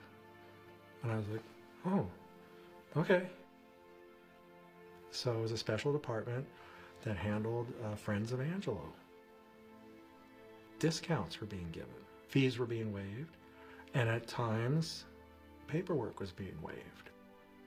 We literally would write on the file FOA. These were really important people. I had Richard Holbrooke, Ambassador Holbrooke, Donna Shalala, people in Capitol Hill, people that regulate the mortgage markets, people that regulate Wall Street, and Jim Johnson, uh, head of Fannie Mae, Alphonso Jackson, Secretary of HUD, Senator Conrad, who's on the Finance Committee. I had the TV on in my house. I was in the kitchen and heard a voice pontificating about predatory lending and how we have to put an end to it. Our nation's uh, financial regulators are supposed to be the cops on the beat, protecting uh, working Americans from unscrupulous financial actors. Senator Dodd, Christopher Dodd, was speaking, and I just stared at the television and I was upset. Some of these loans have legitimate uses when made to sophisticated borrowers with higher incomes. because I had done a number of loans for him in which he got discounts and all the things that go with being a friend of Angelo's and all the good stuff. The Senate Banking and Housing Committee is supposed to be the watchdog of the mortgage industry. Senator Dodd is the chairman of this committee and has served on it for over 28 years. As a friend of Angelo, he received over $1 million worth of discounted loans from Countrywide. Someone next door here is selling a toxic piece of crap loan to somebody. I was required to give the most suitable loan to that VIP. Did you ever feel that what you were doing might be bribery? I didn't feel like I was bribing anybody, no. Uh, I just was doing my job. I was the VIP guy. Everyone in the company knew who I was. You know, everyone. And, you know, so it was kind of a flattering situation, but no, I don't feel like I did anything wrong at all. And if I didn't do it, somebody else would have been doing it. That's why we need people like Bill Black, one of the bank regulators who uncovered the savings and loan scandal in the 1980s. Something improper happened, and I bet you the regulators know. One of the leading figures of that scandal, Charles Keating, had an idea on what to do with Bill Black and sent a memo out with these instructions. I asked him who was looking out for us today. Where was the FBI in all this? The FBI began publicly warning in September 2004 that there was an epidemic of mortgage fraud perpetrated by the banks. Epidemic was their word. But when 9 11 hit, the Bush administration transferred at least 500 white collar FBI specialists out of dealing with white collar crime, even though we were entering during the entire Bush administration the greatest wave of white collar crime in the nation's history, in fact, in the world's history. The FBI says that 80% of the mortgage fraud losses are induced by lender personnel. Meaning what? Meaning not the borrower coming off the street trying to defraud the savings and loan. These are frauds led by whoever controls the organization. Right. It's typically the CEO, in other words. So did these CEOs think they were going to get away with it? They have gotten away with it. Yes, apparently they did. And with the presidential election just around the corner, Define rich. Five million. the elites were worried that their crime spree might come to an end. After bilking trillions from the American public by repossessing their homes, bankrupting them when they got sick, and convincing them to invest their earnings and pensions in the casino known as the stock market, the rich decided to make one last heist. And as their 30 year long party might be coming to an end, take as much of the silverware with them as they could. But first, they needed a distraction. And as they learned after 9 11, nothing works better in the home of the brave than some good old fashioned fear. And who better to wheel out for one last scary performance than Chicken Little himself? Oscar voters, for your consideration. Good evening. This is an extraordinary period for America's economy. The government's top economic experts warn that without immediate action by Congress, America could slip into a financial panic and a distressing scenario would unfold. More banks could fail, including some in your community. The stock market would drop even more, which would reduce the value of your retirement account. The value of your home could plummet. Foreclosures would rise dramatically. And if you own a business or a farm, you would find it harder and more expensive to get credit. More businesses would close their doors, and millions of Americans could lose their jobs. Even if you have good credit history, It would be more difficult for you to get the loans you need to buy a car or send your children to college. And ultimately, our country could experience a long and painful recession. Fellow citizens, we must not let this happen. In reality, there was no need for this speech because the mainstream media had already drunk the Kool-Aid. Meltdown. The American financial system is rocked to its foundation. A giant bank crumbles, stocks plummet. Nightmare on Wall Street. AIG fights for its life. Blood on the floor. Armageddon. A Category 5 test of our financial levees. What the fuck happened? You ever seen a dam fail? No. Starts with a little crack, little seepage. With overwhelming support, Congress struck down the restrictions. Big banking is barreling back. And it starts eroding, and it destroys all the internal strength of the dam. Poison from the housing mess seeped deeper and deeper into the banking system. And soon the dam works against itself. The weight of the dam and the weight of the water conspire against it. Investors were dumping bear shares, leading a huge sell-off. The stocks of Fannie Mae and Freddie Mac were in free fall this morning at one. Then there's kind of a significant flow. Wall Street's losing streak stretched into its seventh day. The carnage And then suddenly you've got 60, 70 foot sections, a dam exploding, Lehman Brothers, bankrupt. Merrill Lynch, sold in haste. Now AIG. just crashing. The market's year-long slide has brought down some of the biggest blue chips. And the water starts rushing through. This morning, Washington Mutual has gone under, the largest failure in U.S. banking history. Stocks fell off a cliff, the largest single point drop in history. It destroys the rest of the dam. And the whole failure looks like it only takes two minutes. But of course, it's that little hole that's been there for several years uh, that really destroyed it. You had this fundamentally unsound system built on a foundation of sand uh, instead of bedrock, and it was rotted from the core. It seems like capitalism's just collapsing on itself. Who, who got rich here? Lots of people got rich during this time. Uh, primarily the officers and directors of the large banks and savings and loans and the specialty non-prime lenders. These people became unbelievably rich. And members of Congress got rich, especially once they left Congress. A number of them go and work in the financial institutions. Sure, and as do Rubin and Summers. Robert Rubin, a one-time top executive at both Citigroup and Goldman Sachs, championed a change in the law that allowed commercial banks to get into new areas like investment banking and exotic insurance products. This made it legal to let Citicorp merge with Travelers Group, a deal valued at $70 billion, creating the world's largest bank. After leaving the Clinton administration, Rubin worked for Citigroup, earning more than $115 million. Summers made his money where? Summers made his money as a supposed consultant and in giving speeches at apparently, in some cases, over $100,000 a pop. Summers also made $5.2 million at his part-time job, advising a hedge fund. Where did Geithner work? Geithner has been a failure at pretty much everything he's done in life. Most of the institutions that destroyed the economy were under his direct regulatory authority. How did he get the job as Treasury Secretary? Um, by completely screwing up his job as president of the Federal Reserve Bank of New York. That makes no sense. Of course, it makes perfect sense. This is not new to Washington. People who will give you the wrong answer, but the answer you want, are invaluable.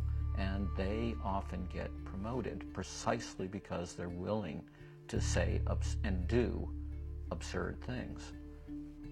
And these are the people that promised us that financial deregulation would make all of us rich. And these are the people who were personally made rich. It was not surprising that the rich wanted to get richer. But now they'd come up with a new and brazen way to do it. Just back a big truck up to the Department of Treasury, and take $700 billion of our tax money, no questions asked. I got Michael Moore. He's- he's, uh, you know who Michael Moore is, don't you, Betty? The film director. He's filming me right now. Oh, we got my wife on the line. Oh, hi. How you doing? Baron Hill from Indiana. How are you, sir? Good. Good state. Yeah. We're from Michigan, you know. Yeah. How did this collapse happen? I, I got home on a Friday. Everything was just fine in terms of the economy. I called back after my plane landed in Indiana, and uh, just to check in with my office, and all of a sudden we've got this crisis on our hands, and that I'm going to have to vote when I come back Monday for a multi-billion-dollar bailout of the, of the fi- financial industry. The word that we got was that if we did not act immediately, uh, the economy would collapse. No doubt about it. I felt that the um, announcement of this crisis in September, just a few weeks before election, was very suspicious. This is when Congress is the most nervous, and I thought, wait a minute, what's going on here? This is not normal. The leadership of Congress and the Bush administration quickly held a series of private meetings with the titans of Wall Street to figure out just how much money was needed to cover all the bad bets investors had made. A deal was cut with Treasury Secretary Henry Paulson, the former CEO of Goldman Sachs, whose net worth was estimated at $700 million when he left Goldman to go and run the Treasury Department. I think we saw the best of the United States of America in the, the Speaker's office tonight. Uh, The best of America? Or did he mean the best of Goldman Sachs? The Treasury Department. It's basically an arm of Wall Street. All the people in charge were from Goldman Sachs. We call it government Goldman uh, in the modern era. That's because there were now numerous former Goldman executives inside the Bush Treasury Department, as there were under Clinton. They worked as powerful lobbyists from the inside to abolish financial regulations while we paid their salaries. Treasury Secretary Paulson, he wasn't just randomly at Goldman, he was the guy at Goldman who got them big time into buying these exotic housing derivatives. So he got Goldman in a huge amount of trouble. Insane housing derivatives had now destroyed much of Goldman's competition, and with the Goldman boys now calling the shots inside the government, they would ensure that Goldman would end up as the kings of Wall Street when the dust settled. So the last possible people that should be giving advice to Treasury would be Goldman. So naturally Paulson, former CEO of Goldman, puts them on. And what advice do they end up giving? Well, to use the taxpayers to bail out Goldman and other favored financial institutions. Well, Secretary Paulson has uh, submitted a simple proposal to Congress. This is it, three pages. It's about a billion a word, and it is quite simple. Secretary Paulson gets the key to the Treasury. Can start off by borrowing $700 billion in the name of the American people, maybe more later. And it waives all laws, all laws, not even court review. Pretty simple proposal. We are in a real crisis situation that could mushroom into something worse than the Great Depression. So I saw fear. Uh, one gentleman started to cry. People are telling us that, you know, it's going to be this gigantic calamity. And I'm up for election in two months, you know, eight, eight weeks away from election. I don't want to make a mistake. What's the right thing to do? Heaven help us. If we fail to pass this, I fear the worst is yet to come. And a few members were even told that there would be martial law in America if we voted no. They were ramming this thing down our throat. They wanted us to vote on it right away without any kind of thoughtful uh, analysis of what No they were real doing. hearings. No real hearings.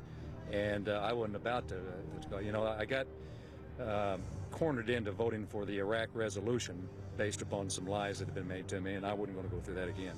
I will not wait on events while dangers gather. I will not stand by as peril draws closer and closer. You use fear, and then you get Donald Trump. And they created in this window, two months before election, this pressure cooker. People understand that the House of Representatives needs to pass this piece of legislation. Mr. Speaker, my message to the American people don't let Congress seal this Wall Street deal.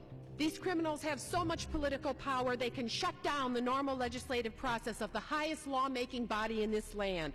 All the committees that should be scanning every word of what is being negotiated are benched, and that means the American people are benched too. We are constitutionally sworn to protect and defend this republic against all enemies, foreign and domestic. They say it's going to be Y2K all over again. This is the same politics of fear we are hearing from the fat cat financial bullies from Wall Street. Why aren't we asking Wall Street to clean up its own mess? Why aren't we helping American families faced with bankruptcy? Why aren't we reducing debts for Main Street instead of Wall Street? Is this the United States Congress or the board of directors of Goldman Sachs? The night before the vote, the American people, in unprecedented numbers, flooded Capitol Hill with millions of messages demanding that Congress vote no. The bailout package was defeated today, voted down in the House of Representatives. The stock market plunged, plunged to the single greatest point loss in the Dow average in one day ever. The question is this Is the failure of the bailout reason enough to vote all the incumbents out of office in five weeks? 12 votes killed it. So did the voices of a lot of the American people who called their representatives and said no. Then Congress voted no. Tonight, Congress has left town. It was a rebuke that Congress and Wall Street had rarely, if ever, experienced. It was what the Citibank memo had warned against that if the peasants ever chose to exercise their democratic rights, the pillaging by the wealthy would be over. So Paulson and Company headed back up to Capitol Hill, and faster than you can say, check please, they cut a backroom deal with the help of the Democrats. This issue supersedes an election. We need to get this right. We need to do it quickly. I agree with the Secretary. It's not going to ultimately cost all these hundreds of billions. We will recover most of it, maybe all of it. The Democrats became the delivery man for a bill for the Republican president. Presidents and presidents to be made phone calls. And members, uh, I know at least two members who have an interest in the U.S. Senate, and the promises were made. Within days, the Congress did an amazing about face and gave the banks the 700 plus billion they wanted. The people be damned. On this vote, the yeas are 263, the nays are 171. The motion is adopted. It was very carefully planned. To happen when it did, to involve the players that it did. The message was carefully handled. They had Congress right where they wanted them. You don't think it was just happenstance? No. This was almost like an intelligence operation. That had to be coordinated at the highest levels. This whole fiasco shows you that the there's some some some forces uh, that are not democratic. Right, that are in control. Big time. They did a masterful job. Very well executed. Do you think it's too harsh to call what has happened here a coup d'etat, a financial coup d'etat? That's no, because I think that's what's happened. Uh, a financial coup d'etat? Yeah. I could agree with that. I could agree with that because the people here really aren't in charge. Wall Street is in charge. Where's our money? I don't know. Citigroup is spending $50 million on a luxury corporate jet. You don't know, but you're the person that you're in charge of. They put you in charge to find out. Goldman Sachs has set aside 6.8 billion for bonuses. But Treasury followed a don't ask, don't tell policy. They didn't ask the banks what they were going to do with the money, and not having asked them, the banks are not required to tell. AIG poolside meetings at a Valley resort. That doesn't make any sense. We're getting word that 73 people received at least $1 million apiece. Why would the Department of Treasury not require the banks to tell them what they're doing with our money? You're going to have to ask Secretary Paulson that question uh, because I've asked that question uh, in my role as head of the Congressional Oversight Panel. And so far, I haven't gotten an answer. Maybe you'll get a better one. Good afternoon, Hank Paulson's office. Uh, yeah, this is uh, Michael Moore. I'd like to talk to, to Mr. Paulson. I'm sorry, your name again? Uh, Michael Moore. Michael Moore. Yeah. Hello? Hello? This is crazy what they're doing with our money. You know, if I could get them to actually give the money back to I'd the be in U.S. Treasury. favor of that.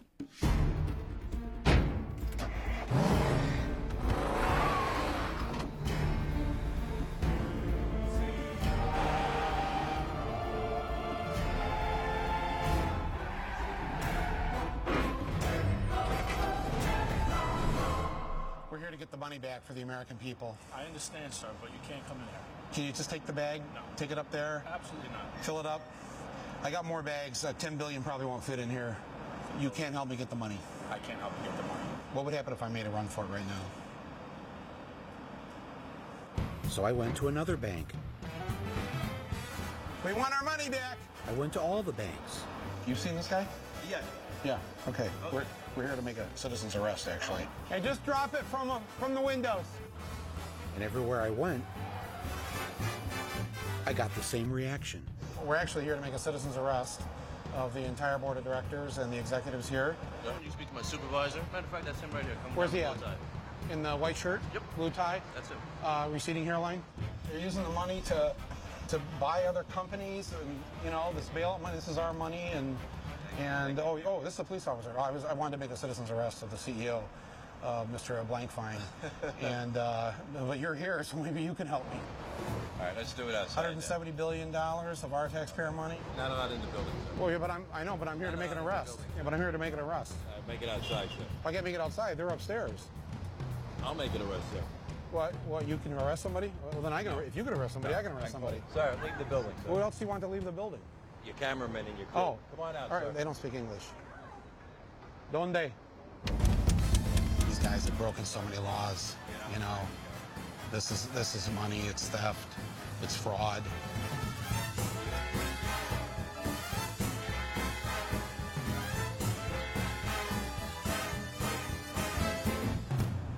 I'm going to take it back to the U.S. Treasury, right in this car.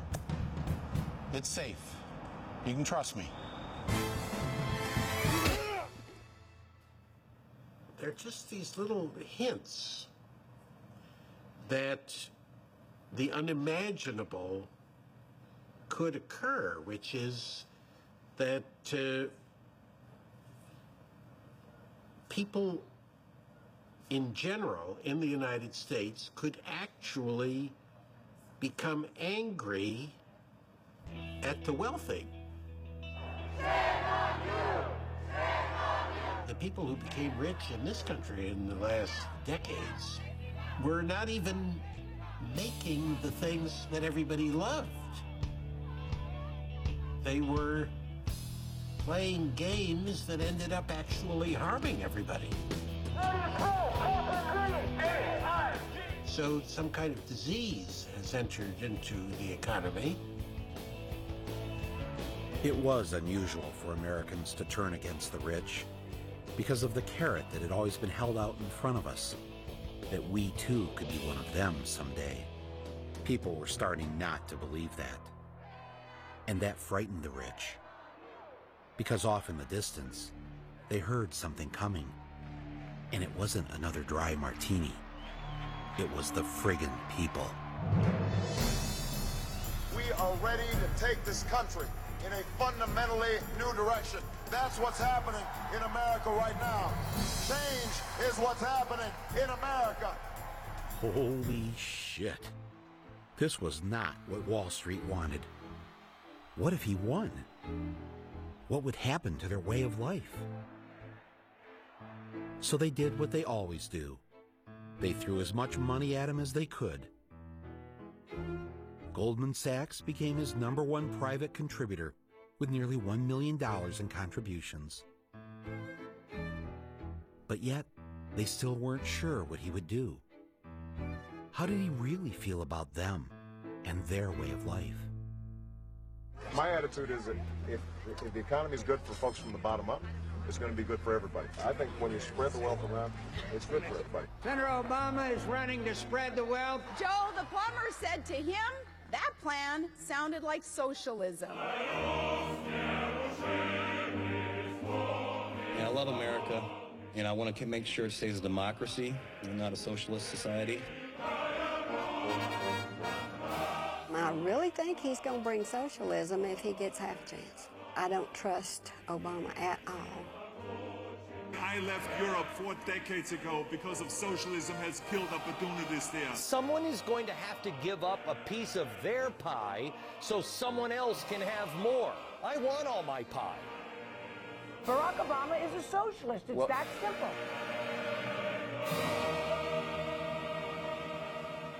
The scare campaign wasn't working. In fact, the more they called Obama a socialist, the more he went ahead in the polls. And by using the word so much, it made a new generation curious about what that was. For instance, few of them knew there was actually a socialist in the United States Senate. Of course, he was from the gay state of Vermont. You say that you're a socialist. Tell me what that means. I'm a democratic socialist, which means that the function of government is to represent middle income and working people rather than just the wealthy and the powerful. You know, one of the things that we have done here, we've become very religious in worshiping greed. And we put on the front pages of the magazines guys who have made billions of dollars. We ignore the cops, the firemen, the teachers, the nurses, who every day are doing so much in improving the lives of people. We've got to change our value system. Hmm. That doesn't sound too bad. I mean, it sounds like something maybe we should try. Within a few months, the Rasmussen poll reported that only 37% of young adults now favor capitalism over socialism. I hope the economy because I'm invested in the stock market. It's now 11 o'clock. We project Barack Obama, President-elect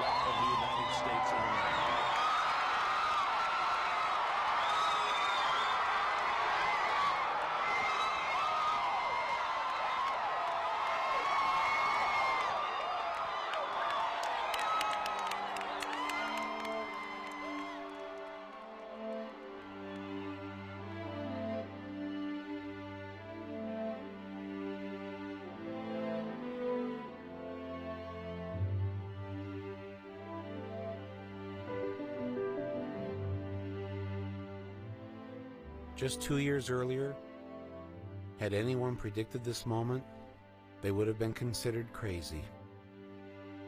But that's how fast things changed.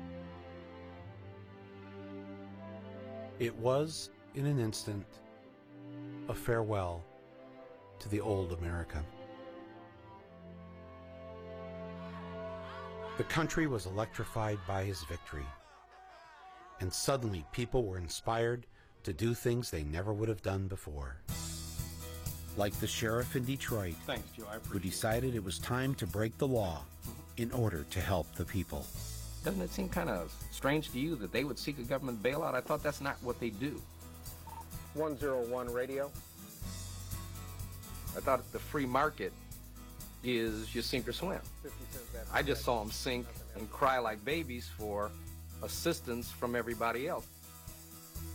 Today, I will be stopping all mortgage foreclosure sales in Wayne County. I cannot in clear conscience allow any more families to lose their homes through foreclosure sale until What must the banks have thought, seeing the law that was set up to protect their interests being subverted? Do you think the free market has failed Detroit? Well, I mean, I think the, the free markets failed the country. You know, this is crazy. Neighborhoods that are completely destroyed because too many homes have been foreclosed. And then you wonder, is this really America? Is this a third world country? Or, you know, exactly what are we doing here? Until things get so bad that people can do nothing but protest. And then those are called revolutions.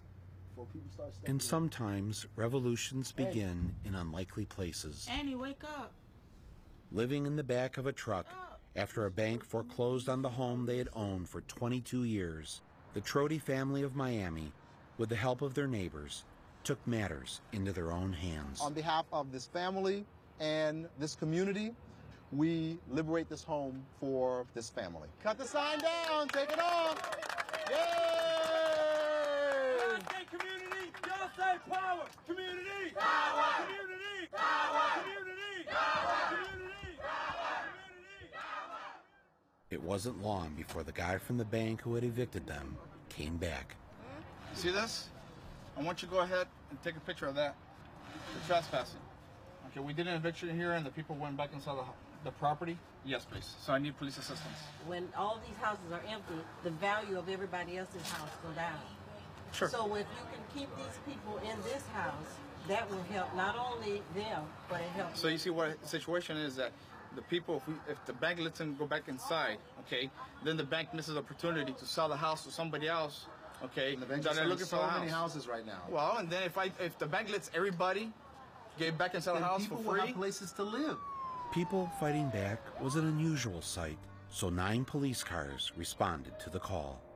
Considering the neighborhood, the response time was impressive. Isolated. I'm not saying I'm in charge. I'm just saying she doesn't want to be isolated. You don't have to answer any of the questions. You don't have to say anything to them. Okay? But the Trodies stood their ground. We don't have nowhere else to go. Exactly. We're, Because now this we're was forced the to live backup inside plan. of a truck. This was our plan B. We don't have no plan C. our grandma, and it's not right that she been in this house for 22 years, and y'all gonna put her out. How do you feel putting people out the house, making them homeless every single freaking day? You should better be homeless to do something like that. What is the money that go, the federal right. government And you come put here in the and y'all- bank? y'all Where's the just- money? We should be telling you that you're trespassing because this is our house. Little babies being arrested because y'all All this stuff that's going on in this house, you don't know what Let's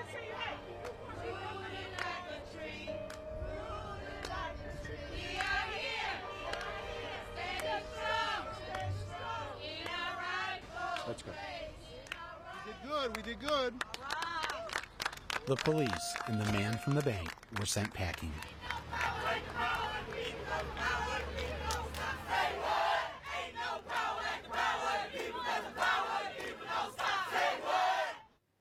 Don't leave your home because you know what? When those companies say they have your mortgage, unless you have a lawyer that can put his finger or her finger on that mortgage, you don't have that mortgage. And you're going to find they can't find the paper up there on Wall Street. So I say to the American people, you'll be squatters in your own homes. Don't you leave. In Ohio and Michigan and Indiana and Illinois and all these other places where our people are being treated like chattel. And this Congress is stymied. Wow. It's not every day you get to see a member of Congress encouraging open rebellion. Back in Chicago, the workers at Republic Windows and Doors had a bright idea.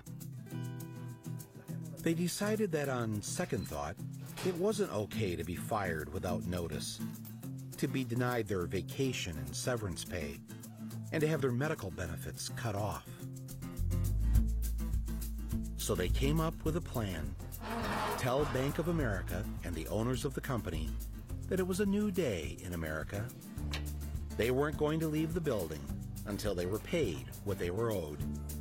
Yes, it was a good old fashioned sit down strike. We understand that perhaps some bad business deals were made, but guess what? We don't make business deals. We make windows and doors. Why should we be punished?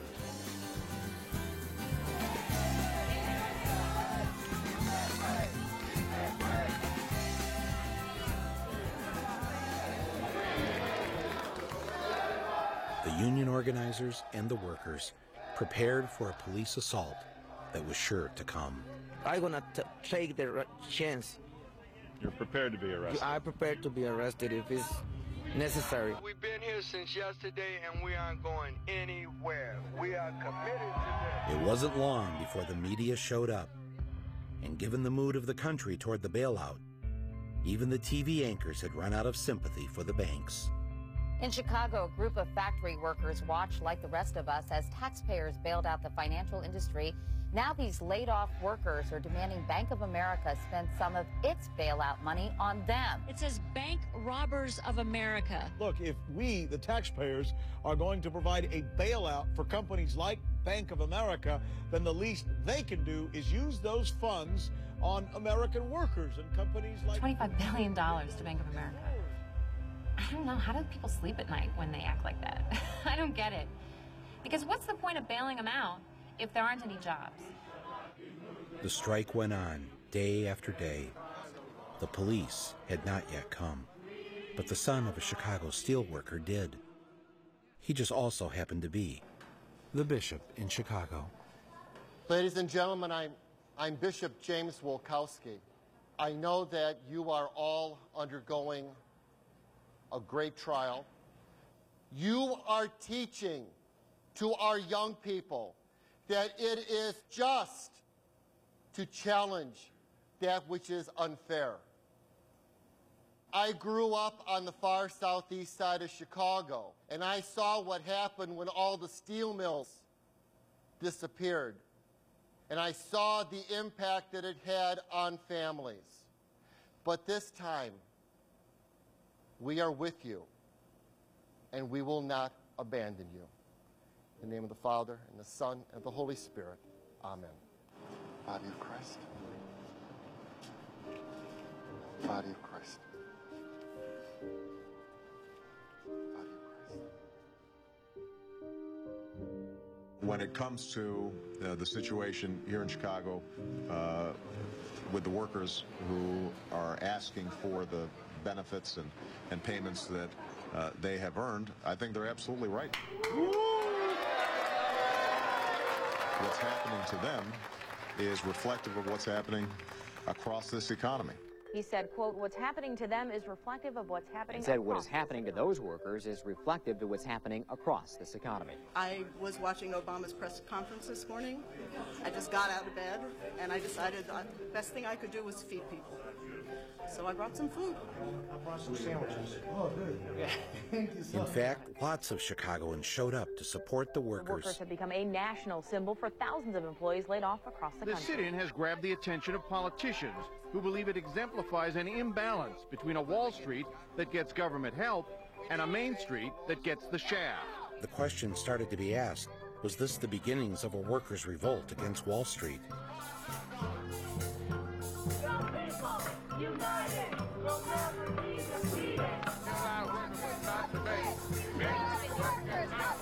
Pledges of financial support and food showed up by the truckload. It's really beyond uh, what we had first initially imagined, and so now we're we're dreaming a little bit. You know, we even had a conversation. Well, what if we just tried to run the factory as like a cooperative? Well, we don't have any money. We're not capitalists. We're having those kind of conversations, and the workers are thinking about it, and it's it's a difficult thing because you know if you've been told your whole life that things are the way other people tell you they are, to be able to think, well, no, I can make it different is quite a it's quite a big deal. We're all over the national news. Everyone is watching you because they're so inspired by you. Y yo también me siento muy orgullosa. De estar con ustedes. After six days of the sit in, Bank of America decided enough was enough. Better to pay off these workers now and hope their little revolution goes away. And so the bank and the company agreed to all the workers' demands. The average package for each worker will be very close to $6,000. But this is about more than just money. It's about what can be achieved when workers organize and stand up for justice. Just fight, fight, fight, fight, fight, fight, just to get like the most basic thing that people should take for granted. And that's, you know, legally theirs. We just fight so hard just for the most basic things in life. It's a fight we knew all too well in Flint, Michigan. For it was here that my uncle and his fellow workers first brought down the mighty corporate interests that dominated their lives. It was the day before New Year's Eve in 1936, and hundreds of men and women took over the GM factories in Flint and occupied them for 44 days. They were the first union that beat an industrial corporation, and their actions eventually resulted in the creation of a middle class. But back in these days of the Flint sit down strike, the police and the company thugs were not going to just stand by. After a bloody battle one evening, the governor of Michigan, with the support of the President of the United States, Franklin Roosevelt, sent in the National Guard. But the guns of the soldiers weren't used on the workers. They were pointed at the police and the hired goons, warning them to leave these workers alone. For Mr. Roosevelt believed that the men inside had a right to a redress of their grievances. Seven years later, President Roosevelt was too sick to go up to the Capitol and give his annual State of the Union address. Ladies and gentlemen, the President of the United States. It has been my custom to deliver these annual messages in person. So he gave it from the White House over the radio. When it was over, he asked the newsreel cameras to step into his room because he wanted the American people to see one particular part of his speech. The President of the United States then took the radical step of proposing a second Bill of Rights to the Constitution. In our day, certain economic truths have become accepted as self-evident. A second Bill of Rights, under which a new basis of security and prosperity can be established for all, regardless of station or race or creed. Among these are the right to a useful and remunerative job, the right to earn enough to provide adequate food and clothing and recreation, the right of every farmer to raise and sell his products at a return which will give him and his family a decent living, the right of every businessman, large and small, to trade in an atmosphere of freedom, freedom from unfair competition and domination by monopolies at home or abroad, the right of every family to a decent home, the right to adequate medical care, and the opportunity to achieve and enjoy good health, the right to adequate protection from the economic fears of old age, sickness, accident, and unemployment, the right to a good education. All of these rights spell security. And after this war is won, we must be prepared to move forward in the implementation of these rights to new goals of human happiness and well-being.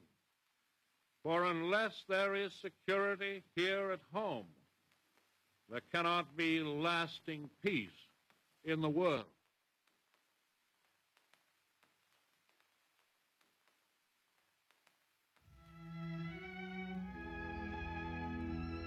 Roosevelt would be dead in little over a year.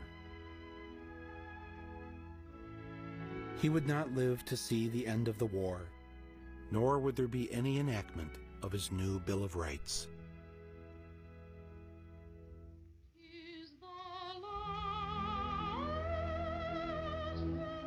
Had he lived and succeeded, every American, regardless of race, would have had a right to a decent job,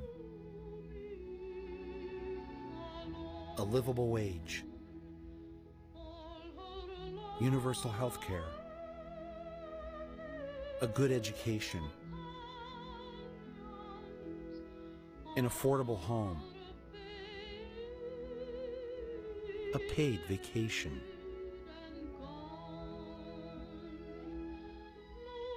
and an adequate pension. None of this would come to pass. No American would be guaranteed any of this. But the people of Europe and Japan got every one of these rights. How did that happen? After the war, the people of Roosevelt's administration went overseas to help rebuild Europe. During this time, new constitutions were written for the defeated nations of Germany, Italy, and Japan. The Italian Constitution guaranteed all women equal rights, and this was 1947. The German Constitution said that the state has the right to take over property and the means of production for the common good. And here's what we wrote up for the Japanese. All workers have a right to organize into a union, and academic freedom is guaranteed. For the next 65 years, we would not become the country that Roosevelt wanted us to be. Instead, we became this.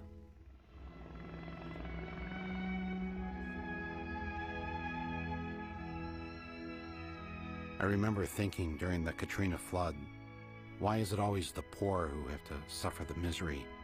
Why isn't it ever Bernie Madoff up on the roof screaming for help? Or the head of Citibank, or the hedge fund guys at Goldman Sachs, or the CEO at AIG. It never is these guys, is it? It's always those who never got a slice of the pie, because these men took it all and left them with nothing, left them to die. I refuse to live in a country like this, and I'm not leaving.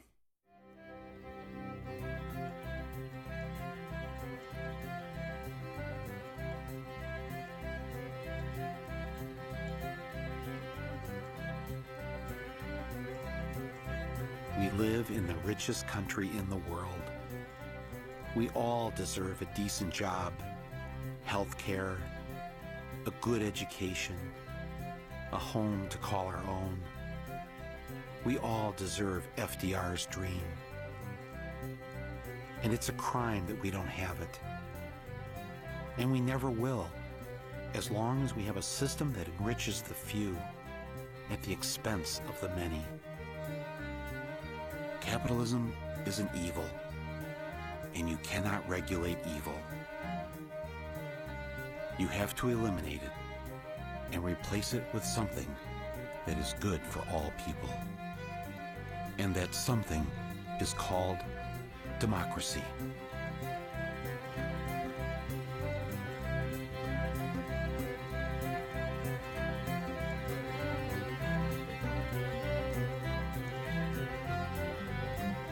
Crimes have been committed in this building. I am here to make a citizen's arrest.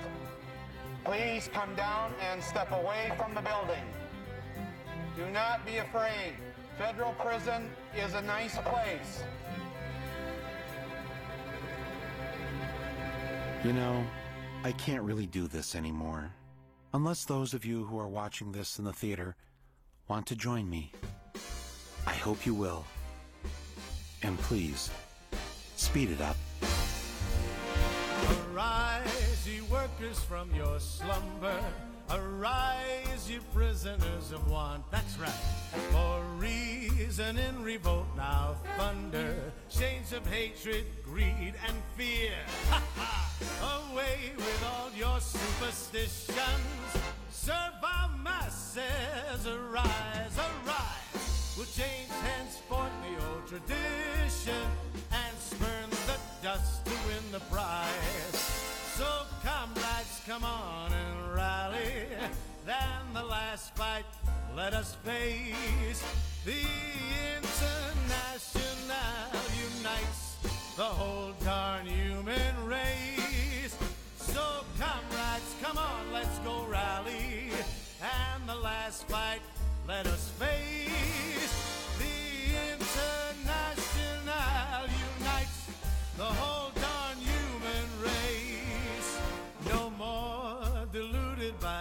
reaction. On tyrants only will make war. The soldiers too will take strike action. They'll break ranks and fight no more. And if those cannibals keep trying to sacrifice us to their pride, each at the forge must do their duty,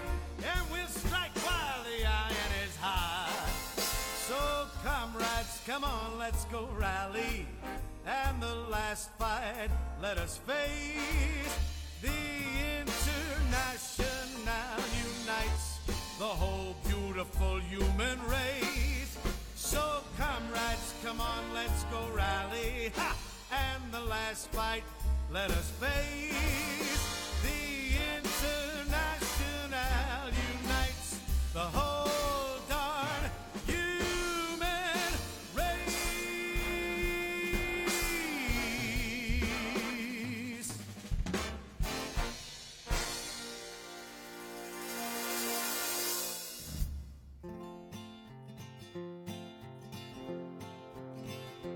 Jesus Christ was a man that traveled through the land, a carpenter true and brave. And he said to the rich, Give your goods to the poor. And they laid Jesus Christ in the grave. He went to the sick, and he went to the poor, and he went to the hungry and the lame.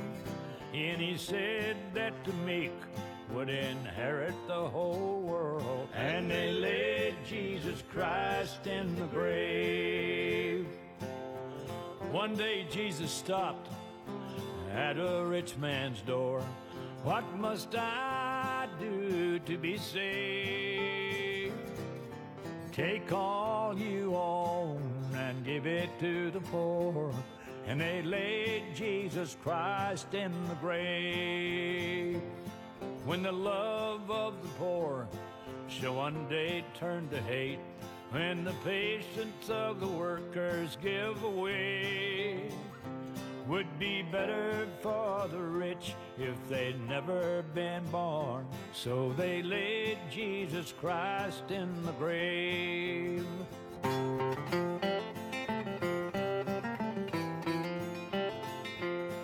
When Jesus came to town, all the working folks around believed what he did say. But bankers and preachers nailed him to the cross, and they laid Jesus Christ in the grave. Well, the people held their breath when they heard about his death, and everybody wondered why. Was the landlord and soldiers, lawmen there had hired, that nailed Jesus Christ in the sky? We would lay Jesus Christ in the grave, Lord, Lord. We would lay Jesus Christ in the grave. If Jesus preached today like he preached in Galilee, we would lay Jesus Christ in his grave.